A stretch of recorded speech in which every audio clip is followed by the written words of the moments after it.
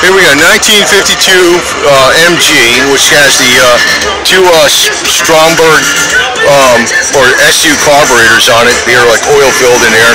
You have to adjust the flow and set them so they're synchronized. Got the battery up there in the back. I guess it's a toolbox right here or something. Um, electric fuel pump, right? I believe. So, and these things were nice. Uh, you know, you can't really flip these cars, man, unless you're on a unless you're on a radical angle in the first place. You'll spin these things right around. It opens up, suicide doors open up nice, and uh, spare tire in the back on the outside with a luggage rack and everything. So, very good.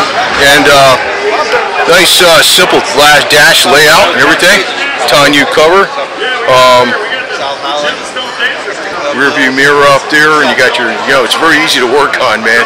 You got your electric motor bike up there, which is switch for the wipers. Uh, wind deflectors. You can fold down the windshield or fold it out a little bit so you get a little more air in there on the bottom. So, it's damn good.